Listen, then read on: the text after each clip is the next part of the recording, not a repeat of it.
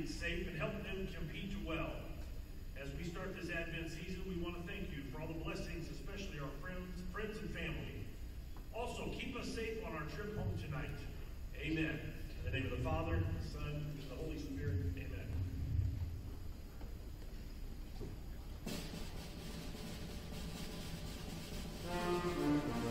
Let's